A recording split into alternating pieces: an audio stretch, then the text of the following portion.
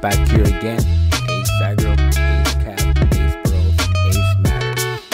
We're talking about AMC. Here we go.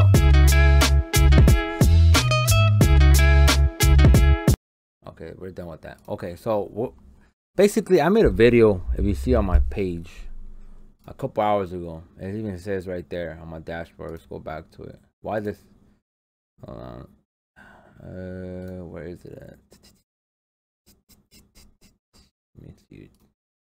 Hold on. Okay, so I made a video I three hours ago, and it was almost twenty percent down, and now it's blow this up for AMC, and we're at we're at three point eight percent down. We were at forty. $39.80 we had a massive sell off and literally it uh, it recovered. We're down only 4.4% right now. So almost all that loss was recovered. Amazing. You know, amazing. It basically proves my point that this stock could go to a hundred dollars.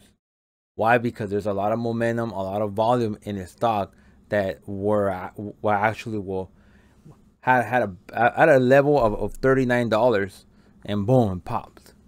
And I think we're gonna end strong today. We're at 11:30 Pacific time. We'll have like an hour, like an hour and 20 minutes still of trading, and I still think we're gonna end with a strong push to the ups to the uptrend, like we see here. And I, at the end of the day, this is gonna go to 100. My my theory. I'm gonna continue making videos, keep everything posted, and so you can see, uh, basically step by step of how this stock is is evolving and becoming something massive. Thank you for listening. Till next time, and ho hopefully you can subscribe. Thank you.